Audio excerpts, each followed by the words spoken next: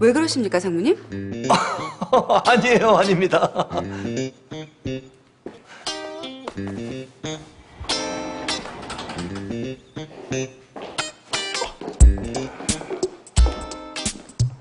저기, 저기 상무님. 차 실장 이것 좀 들고 있어 줄래요? 네? 차 실장.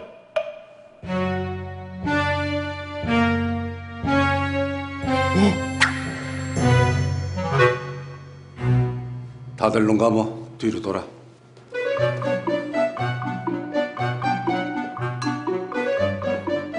니들이 이게 뭐하는 상황이야? 벌건 대낮에 그것도 회사복도 한복판에서 아, 그게 운동화 끈이 풀려서. 이 자식이 그런데 당장 일어서지 못해? 아, 이, 예, 예. 둘 다 내 방으로 와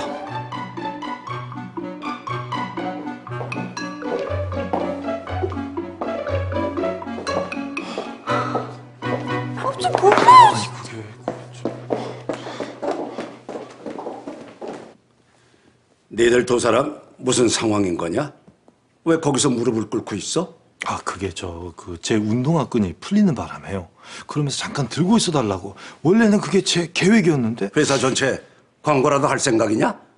니들 둘 사귄다고. 아니, 토요일 오전인데다 8층은 임원진들 사무실 뿐이라 아무도 출근한 사람이 없었거든요. 그랬는데. 어쨌든 나한테 들켰잖아. 그러니까 하필 그 시간에 올라오셔가지고 방해를 하십니까? 뭐야? 방해?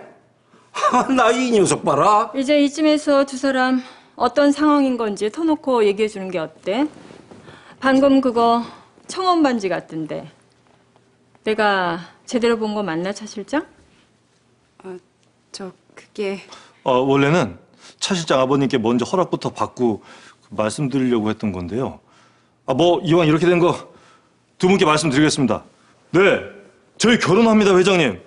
저희 결혼합니다, 여사님. 그래?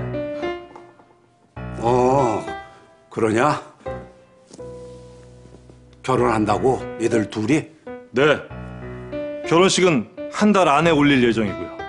뭐? 한 달 안에? 아니, 이게 무슨 소리지? 결혼한다는 소리 들은 지 1초도 안 됐는데 한 달 안에 결혼을 하겠다고? 뭐지? 그러게 말이다. 이건 허락도 아니고 아주 통보구만 통보. 네, 맞습니다. 허락을 구하는 게 아니라 통보해 드리는 겁니다, 회장님.